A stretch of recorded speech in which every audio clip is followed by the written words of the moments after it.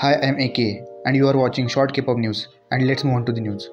King Choice, one of the largest K-pop voting website, has officially closed its poll for the King of K-pop 2020 on October 31. BTS Jimin emerged as a winner by a huge margin as the unbeatable king of K-pop for the two years in a row 2019 and 2020. Jimin ranked first and gathered a massive total of over 12 million upvotes in the poll this year, and for the last year, 2019, he ranked first with over 1 million votes. Earlier in May 2020, Jimin also topped King's Choice top male K-pop idol dancers ranking of 2020 with over 6 million votes.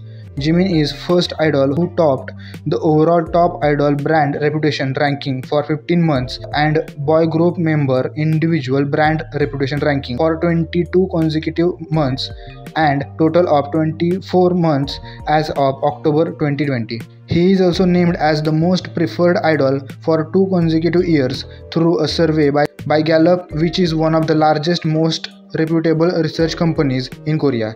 Jimin is the most mentioned individual on Instagram, outranking former US President Barack Obama, Justin Bieber, and Taylor Swift.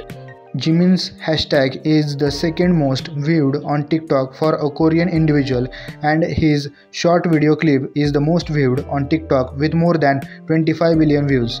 Jimin also holds the record of the fastest tweet to reach 1 million and 2 million likes on the Twitter. His self composed song from 2018, Promise has reached more than 250 million plays on SoundCloud and became second most streamed song of all time on SoundCloud.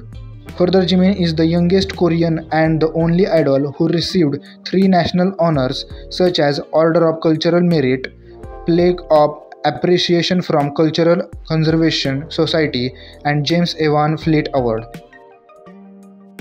Like and subscribe to my channel for more updates.